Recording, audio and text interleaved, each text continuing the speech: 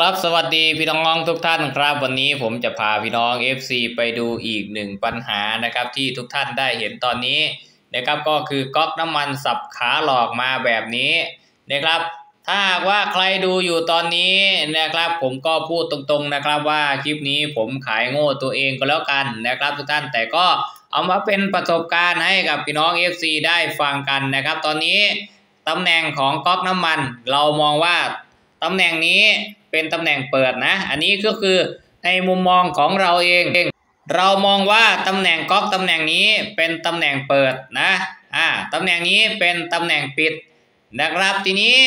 ในเมื่อเรามองเห็นตำแหน่งเปิดนะอ่าในความคิดของเรา เราคิดว่าตำแหน่งอ่าที่เอาเนี่ยเนี่ยเนี่ยเราคิดว่าตำแหน่งนี้เป็นตำแหน่งเปิด เราก็เปิดไว้ตำแหน่งนี้ ทีนี้เราก็ทำการเทสรถนะครับ พอเราเทสรถไปสักพักหนึ่งสองสามนาทีรถเกิดอาการบูบดับ แล้วก็อ่าสตาร์ทติดติดดับดับแล้วก็เร่งไม่ขึ้นนะครับพี่น้อง FC นะไอเราก็ไปไล่ดูไฟดูหัวเทียนดูอะไรต่างๆนะครับทำให้เราหลงทาง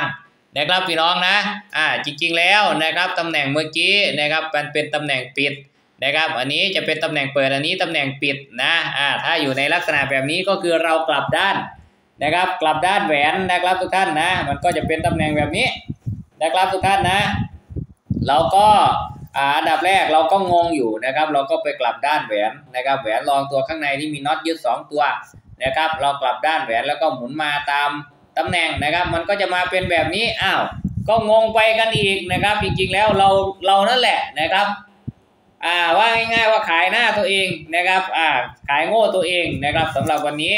นะครับทุกท่านก็เอามาให้พี่น้อง FC ได้ดูเป็นแนวทางนะครับอ่าตรงนี้นะครับอันนี้ก็กลับด้านไปมันก็เป็นเหมือนเดิมเอาแหวนนะครับด้านบนลงล่างเอาล่างขึ้นบนก็เหมือนเดิมนะครับทีนี้ทำไงดีอะนะครับทำยังไงดีไปต่อยังไงดีนะครับถ้าเป็นแบบนี้นะครับก็คือในความคิดของเรา เราก็คิดว่าถ้าจะทำยังไงก็ได้ให้มันเหมือนอ่าเดิมๆเหมือนรถทั่วไปไม่ให้มันกลับด้านอยู่อย่างนี้นะครับ อ่าทีแน่ๆนะครับ เราก็ไม่รู้ว่าเป็นเป็นเป็นแบบนี้มาจากโรงงานไหมนะครับ เพราะว่าคาบูเรเตอร์ใหม่ หรือเป็นที่ช่างคนที่เขาประกอบมาก่อนเรานะครับเขาวางยาเขากลับด้านมาหรือเปล่านะครับ ทีนี้ก็นะครับผมก็จะทำการถอดน็อตตรงนี้ออกนะครับ แล้วผมก็จะทำการลองสลับด้านแหวนนะครับ เอาด้านนอกเข้าด้านใน แล้วก็หมุนหาดูนะครับว่ามันจะได้ตำแหน่งอย่างที่เราอ่า ต้องการไหมนะครับก็คือ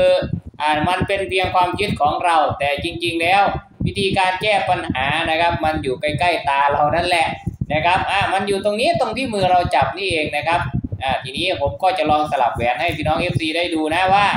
หน้างานบางครั้งบางทีมันก็ทำให้เราเบอร์ทำให้เราสับสนนะเอออันนี้ผมก็จะเอาแหวนออกมา แล้วก็กลับด้านแหวนปั๊บแล้วก็ใส่เข้าไป นะครับอ่าเรามาดูกันตรงนี้นะครับว่ามันจะได้ผลหรือเปล่านะครับสำหรับการวิธีเอ่อสำหรับวิธีการที่เราจะแก้ไขปัญหาเรื่องของก๊อกน้ำมันนะครับ ก็นะครับใครจะว่าเออไอ้นี่มันโง่ไว้ยก็ผมก็ไม่ได้ว่านะครับทุกท่านนะ อ่าจริงๆแล้วคนเรามันผิดพลาดกันได้นะครับอ่าผิดพลาด มันผิดพลาดแบบนี้นะครับมันให้อภัยกันได้นะครับ เพราะว่าเราพยายามหานะครับจุดที่ มันผิดพลาดหาจุดที่เรานะครับต้องการให้มันเป็นนะครับ เราจะแก้ไขปัญหาให้ลูกค้าเราต้องทำให้ได้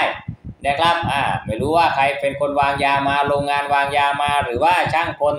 ที่เขาทำก่อนเราวางยา แต่ผมว่าเป็นช่างคนที่ทำก่อนเรานะวางยาเราทำให้เรางงนะครับอ่าอันนี้เรากลับด้านแล้วนะครับสำหรับแหวนนะ ทีนี้พอเรากลับด้านมานะครับ เดี๋ยวเราจะ เทสให้พี่น้อง FC ได้ดูนะว่ามันจะได้ผลไหมเอออันนี้เราก็ถือว่าอันนั้นแหละนะครับ อย่างที่ผมบอกนั่นแหละนะครับ เราพลาดเองนะครับอ่าเราคิดไม่ถึงนะครับบางครั้งบางทีนี่แหละนะครับ หน้างานมันหลาย ๆ อย่างมันก็เบอร์กันไปนะครับทุกท่านนะอ่าอันนี้ขันเข้าไปนะ ข้างในไม่มีอะไรนะครับข้างในมีลูกยางกลมหนึ่งตัวเจาะรูน้ำมันไว้นะครับอ่าข้างนอก ตรงนี้ก็มีแหวนสปริงหนึ่งตัวกับแหวนนะครับทุกท่านนี่นะครับ เปิดปิดนะครับอ่ามันจะได้ไหมตำแหน่งนี้นะครับทุกท่านนะ ก็ลองเทสดูก่อนนะครับ ทีนี้นะครับเมื่อเรานะครับได้อ่าทำการกลับด้านของแหวนแล้วนะครับ ไม่รู้ว่านะครับมันจะได้ผลหรือเปล่า เดี๋ยวให้พี่น้อง FC ได้ดูด้วยกันนะครับอ่าเราเอาตัวนี้มาใส่ใส่ด้านบนนะครับอ่าเราโง่เองนะครับในเคสนี้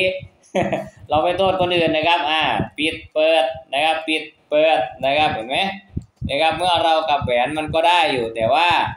น้ำมันมันจะได้หรือเปล่าแค่นั้นเองนะครับทุกท่านนะ น้ำมันมันจะลงหรือเปล่านะครับ เดี๋ยวเราต้องคลายน็อตก้นคาร์บูเตอร์ลง อ่า ออกมาดูนะครับทุกท่าน อ่า ตรงใต้ก้นคาบูนี้ มันจะมีกรองเบนซินอยู่นะครับทุกท่านนะอันนี้เรากลับด้านมาให้มันได้เหมือน standard แล้วแต่ตำแหน่งของ น้ำมันมันจะได้ไหมนั่นตำแหน่งนี้นะครับมันไม่ได้เห็นไหมนะครับตำแหน่งนี้มันไม่ได้นะครับนี่นะครับมันก็ไม่ได้เหมือนเดิมนะครับทุกท่านนะเราต้องกลับด้านหาให้มันได้นะครับพี่น้องนะอ่าตำแหน่งนี้มันก็ยังไม่ได้อยู่ดีนะครับอ่าทีนี้เราจะทำยังไงดีล่ะนะครับ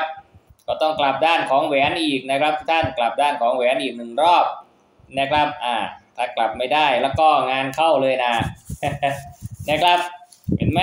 นะครับบางครั้งบางทีหน้างานเห็นเห็นนะครับ แต่ว่าไม่ใช่ว่ามันจะแก้ปัญหาได้ง่าย ๆ นะครับทุกท่านอ่าอันนี้เรากลับด้านเอาแหวนออกมาในตำแหน่งเดิมแล้วนะครับอ่าเรากลับด้านเอาแหวนออกมาในตำแหน่งเดิม แล้วเราก็กลับด้านนะครับของไอ้มือบิดเนี่ยกลับด้านใหม่นะครับ มันถึงได้นะครับก็ได้แบบงงงงงๆนั่นแหละนะครับพี่น้อง FC นะ แต่ว่าเราสามารถแก้ไขให้ พี่น้อง FC นะครับได้ดูเป็นแนวทางนะครับว่าบางครั้งบางทีเราเจอปัญหาเราก็ไล่แก้แบบนี้แหละนะครับ ก็ไม่รู้ว่าใครวางยาใครนะครับ แต่คนแก้ก็งงพอคนแก้นั่นแหละนะครับ ทุกท่านเอาละนะครับ สรุปแล้วก็คือกลับด้านแหวนออกมาเหมือนเดิมนะครับ แล้วก็ถอดพลาสติกสีดำออกแล้วก็สวมเข้าไปตำแหน่งใหม่นั่นเองนะครับ พี่น้อง FC ทำเอาเรางงเราเล่น เราวางยาตัวเองอีกแล้วครับท่านเอาละคลิปนี้จบไว้เพียงเท่านี้เอามาเป็นแนวทางให้กับพี่น้อง FC เฉยๆนะครับก็ขอขอบคุณมากที่เข้ามารับชมนะครับพี่น้อง FC นะ สวัสดีครับ